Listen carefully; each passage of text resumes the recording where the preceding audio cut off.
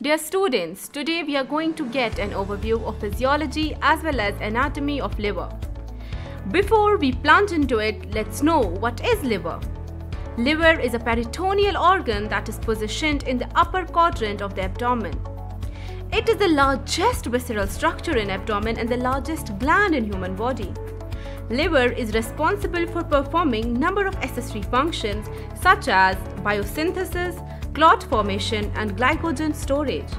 Further, liver is divided into two lobes. One is larger lobe and another is smaller lobe.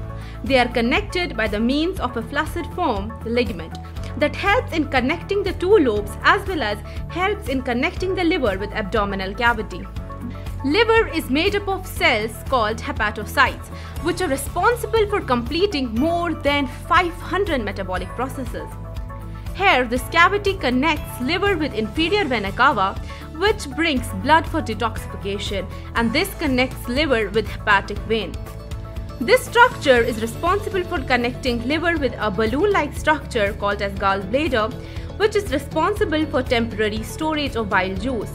This juice is then secreted into small intestine for the digestion of fats. Thus, dear students, liver acts as accessory organ for the process of digestion.